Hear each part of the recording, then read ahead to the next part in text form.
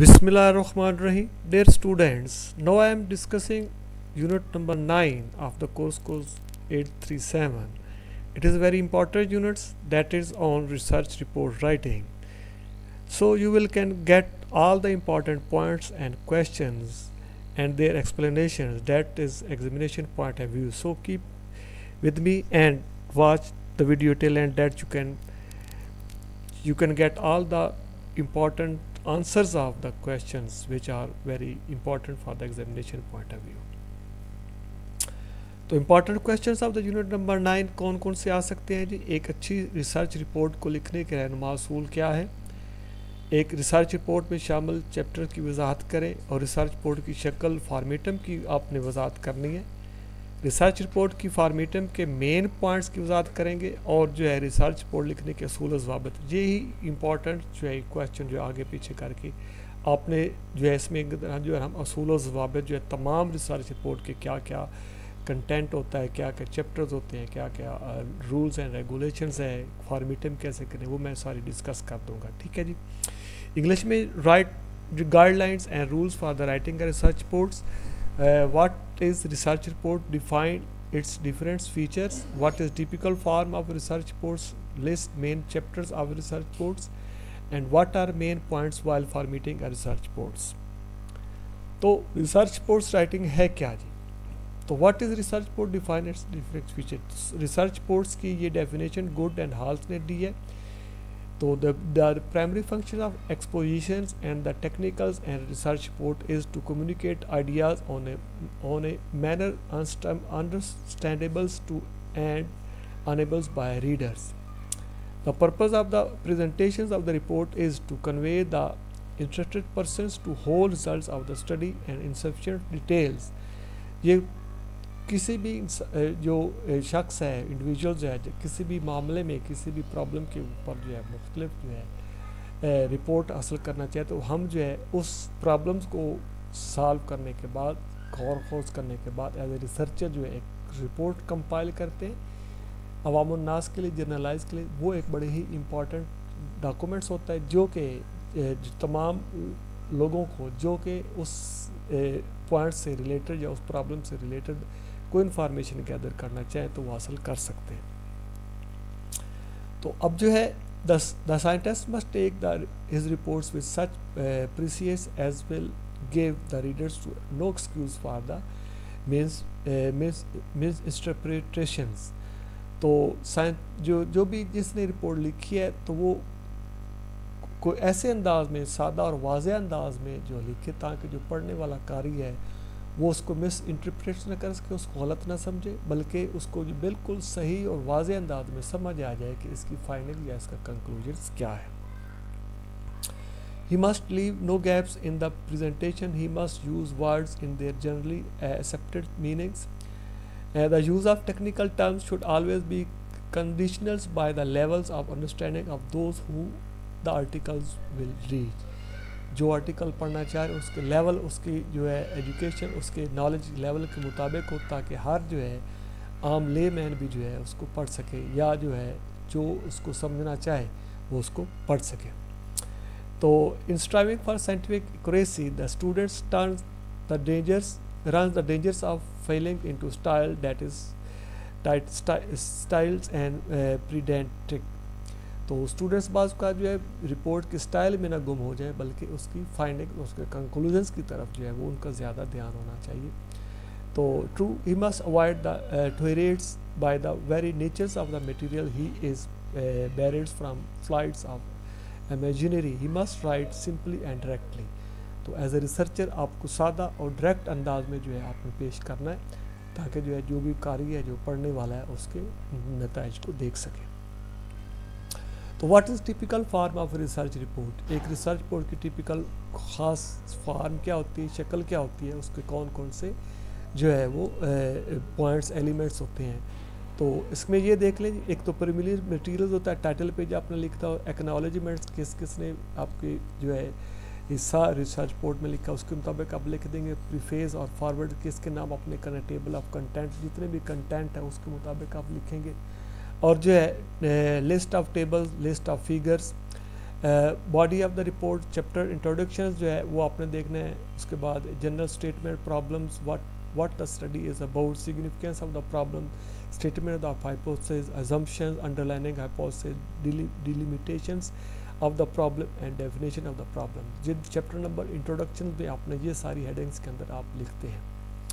आगे जो है चैप्टर नंबर टू में जो है रिव्यू ऑफ़ द लिटरेचर जो भी उस प्रॉब्लम के रिलेटेड आपने पीछे जो है, कुछ रिलेटेड आर्टिकल्स पढ़े, कुछ रिपोर्ट्स पढ़े फाइंडिंग्स पढ़ी, उसके उसके आपने लिखना है, उसके बाद डिज़ाइन ऑफ़ द स्टडी आपने किस तरह जो है स्टडी को कंडक्ट किया।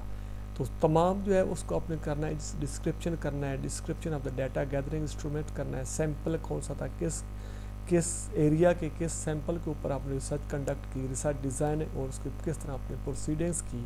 किस तरह आपने उसको रिसर्च को चलाया? चैप्टर नंबर फोर में presentation and analysis of the data analysis techniques क्या है और टेक्स्ट क्या है? तो ये तो थे चार चैप्टर जो बड़े इंपॉर्टेंट हैं। आगे जो चैप्टर नंबर फाइव में जो है, उसमें जो फॉर्म के अंदर टेबल भी है फिगर्स भी है डिस्क्रिप्शन ऑफ़ द फाइंडिंग्स ठीक है, वो भी है। और चैप्टर नंबर फाइव आपने तमाम रिपोर्ट की समरी पेश करनी है कंक्लूजन और उसकी इम्प्लीकेशन जनरलाइजेशन जो आपने फाइंडिंग्स आपने की उसकी क्या अहमियत है और किस तरह जो, किस जो है, किन लोगों के लिए जो इसकी फाइंडिंग जो है होगी। तो समरी में आप हाइपोथेसिस के लिए आपने क्या मफरूज़ा किस के ऊपर जो नाला हाइपोथेसिस कौन सा भी हाइपोथेसिस के ऊपर आपने बयान करना है। कंक्लूजन आपका क्या निकला? फाइंडिंग्स क्या निकली? इम्प्लीकेशंस जनरलाइजेशन उसकी क्या है? और suggestions for the further research जो है, ये भी एक या दो स्टेटमेंट आप देते हैं। चैप्टर नंबर सिक्स रेफरेंस जो है, आपका सेक्शंस आप देते हैं। बिब्लियोग्राफी अपेंडिक्स कोई शक्ल जो यू कोई आप स्केल आपने बनाया, वो आपने बयान कर दें और टेंग इंडेक्स या इंडिसीज जो है वो आपने बयान करना तो ये सिक्स जो है, आपके चैप्टर्स जो है, आपने इसको ज़रूर याद करने ये आपका क्वेश्चन जो है वो ज़रूर आएगा।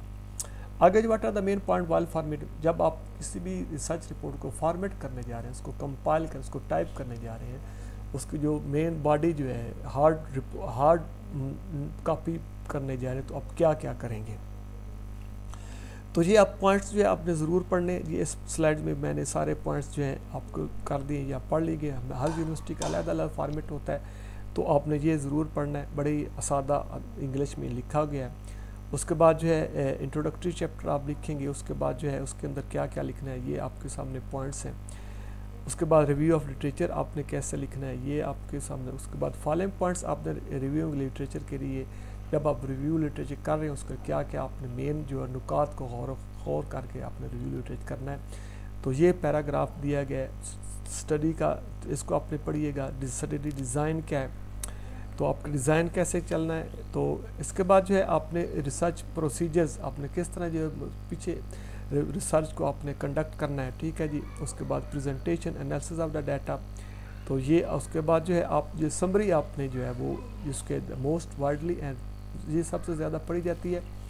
तो द उसके बाद जो है, the part should be consist with clear presentation of all information concerning the problem methods and findings इसके अंदर प्रॉब्लम क्या था मेथडोलॉजी आपने क्या थी फाइंडिंग्स आपने क्या की, इसके अंदर आप बयान करते हैं। आखिर पे आप कंक्लूजन देते हैं should be presented in somewhat more detail and care should be taken to draw our conclusion directly from the findings over conclusion must be avoided आपने ज़्यादा जो है लफाजी या कंक्लूडेड आपने इससे अवॉइड करना है। उसके बाद suggestion for the further studies जो है, वो आपने ज़रूर देना है कि जो है, नए आने रिसर्च के जो नवाइस रिसर्च कोई रिसर्च करना चाहे तो उसके लिए आपने सजेशन देनी है कि आप इस टॉपिक पे इस प्रॉब्लम के आगे कर सकते हैं रिसर्च रेफरेंसेस मटेरियल देना है कि आपने कहाँ कहाँ से आपने जो है आपने जो है रिसर्च रिव्यू लिया आपका कौन कौन से रिसर्च रिव्यू पढ़ कर जो आपको प्रॉब्लम जो है आपको गैप नज़र आया और आपने जो रिसर्च आपने रिसर्च कंडक्ट की। तो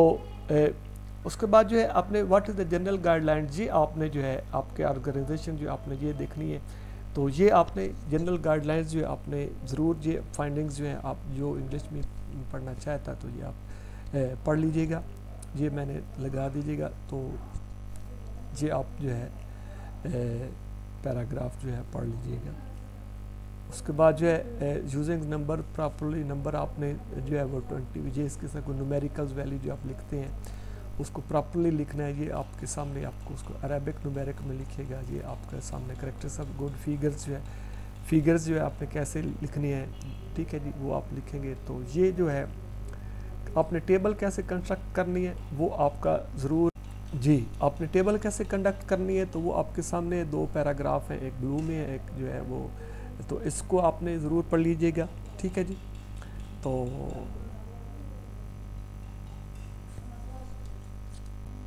जी, एक अच्छी रिपोर्ट की तैयारी के बुनियादी असूल या कवायद हदायत क्या है? तो उर्दू में जो पेपर अटैम्प्ट करेंगे, उनके लिए ये दो हैं। तो एक सौ सबसे पहले रिपोर्ट की नोयत पे आपने याद है किसके लिए आपने रिपोर्ट लिखी है, ठीक है? मारूजियत जो है, आप ये भी बड़ा ख़ास है कि अवामनास के लिए हो, हर कोई जो है उसको दुरुस्त इख्तसार हो। उसके बाद जो है यकसानियत हो, उसके बाद जो है वाज और दो टोक अंदाज में बयान किया गया हो। उसके बाद संजीदगी और धीमापन हो, साफ़ और ज़ोरदार ज़बान में बयान किया गया हो। मुतल मौजू के बारे में सबका मवाद का मुताल इसमें ज़रूर होना चाहिए। फ़ैसला कौन अंदाज में पेश किया जाए? वक्त का इस्तेमाल आपको याद रहना चाहिए कि कितने रिपोर्ट जिसके अंदर जो है, किस कितने दिनों के अंदर आपने रिपोर्ट कंपाइल करनी है, कारी बन कर लिखें, यानी कि आपके जहन में ये ना हो कि आप बड़े जहन फतीन हो, मुश्किल ज़बान जो पढ़ने वाला है, उसके जहन को मद्देनज़र रख कर लिखें ताकि आसानी से वो पढ़ सके। उसके बाद जो नज़रसानी और जायज़ा जो है, वो आप एवेलुएशन ज़रूर करें। ठीक है जी? उसके बाद मकसद अंदाज में को दुरुस्त ज़बान नहीं हो, ठीक है? और तहकीती रिपोर्ट में ज़बान और बयान के अमूमी असूल बहुत ज़्यादा अहम है। सादा और मुख्तसर अंदाज में लिखे साफ़ सिफात का इस्तेमाल एहतियात से करें। मैं मैं मैं की रट ना लगाएँ, बल्कि जो है वो, ठीक है? उसमें जो है, अब जो है, बल्कि मैंने दस आज़ादा का इस्तेमाल किया तो इसकी वजह यूँ लिखा जाए, दस आज़ादा का इंटरव्यू किया गया। दूसरी ज़बानों के अल्फाज का इस्तेमाल बड़े अच्छे अंदाज में करें।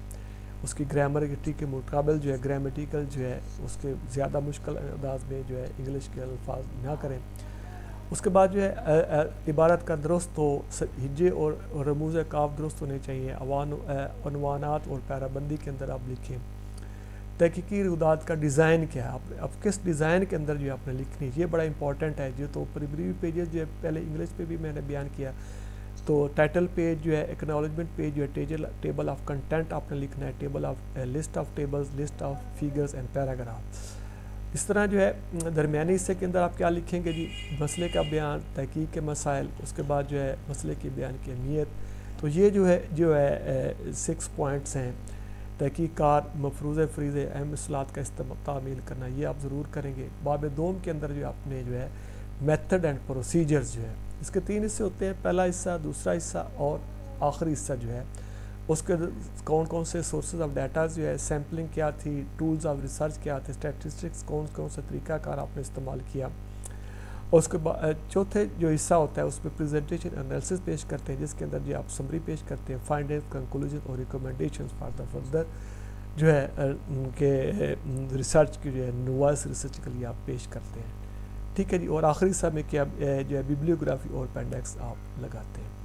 तो आपके जिस में दिया जो आपकी किताब से ये सारा मैंने मटेरियल अक्स किया तो thank you very much there students तो ये आपका यूनिट नंबर नाइन जो है, वो पेश किया गया। तो इसको लाइक करें शेयर करें और बेल आइकन पर जो है, वो ज़रूर कीजिएगा ताकि जो है सब्सक्राइब ज़रूर कीजिए ताकि आने वाली वीडियो को आपका सही नोटिफिकेशन मिल सके। असल वरहमल वर्का